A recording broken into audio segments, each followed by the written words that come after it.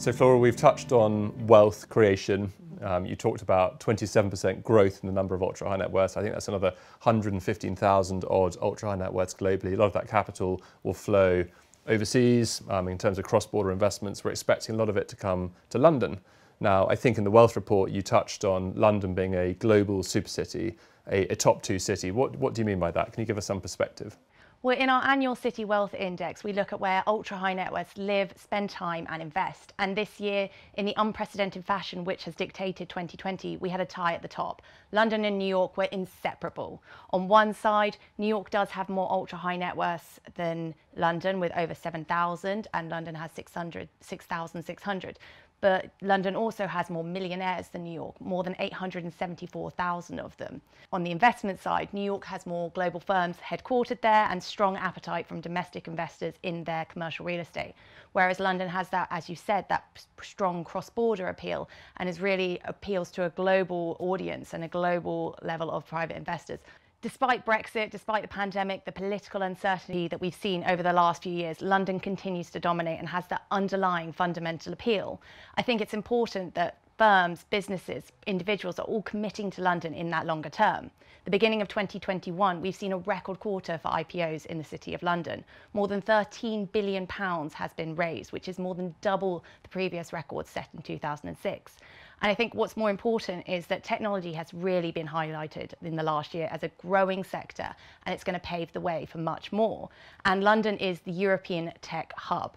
Across 2020, European tech firms raised a record amount in venture capital, and London was responsible for a quarter of Europe's total, which is more than three times its nearest rival. So it just shows the dominance and the underlying fundamental draw that, there, what, that is there in London. So is London home to some of the top tech firms?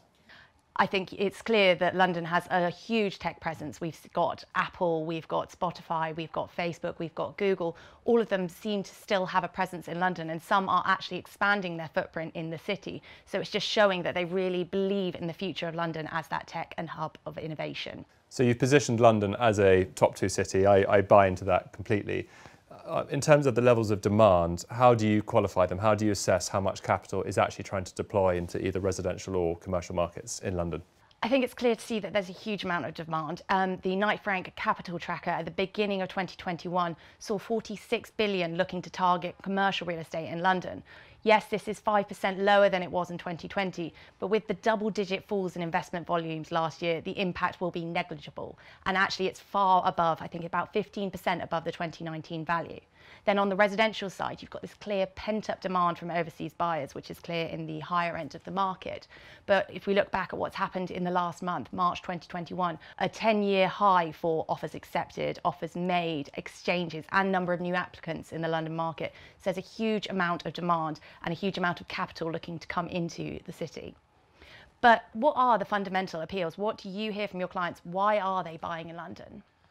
It's a really good question. It's, it's very easy for us to talk about London being a kind of top two global city, but fundamentally it comes down to what our clients and what our investors think. Mm-hmm. And we talk to a lot of clients about commercial requirements, about what they're looking to do, where they're looking to invest and deploy capital in London mm-hmm. and residential. I think from a residential perspective, it starts with home and the family and reasons that we all love London, which is lifestyle and education and culture and quality of stock. And that stock point is really important. If you're a young family, the variety of houses and apartments on offer in London, if you're a family in Chelsea or Notting Hill or Kensington, is almost second to none on a kind of global scale. And in every borough, there is great private schools. There are great private schools. There's great access to parts, etc. So the lifestyle perspective, the fact that um, English is spoken in London, our legal system, our very transparent financial and property markets, I think really make London appeal. Moving on to the business side, London's a great place to a great place to do business. We're a financial business hub on the global arena. We sit in a time zone, obviously, between the US, Europe, and Asia. Mm-hmm. Um, we have access to a lot of expertise in the financial world, the legal world, real estate, consultancy, and, and accounting. And I think that, that counts for a lot. So we see London appealing um, both from a personal and an investment perspective to so many of our clients, particularly because the quality of commercial stock is also there. We have some incredible office stock, incredible retail, um, it's incredible out of town distribution and, and retail warehousing offering as well.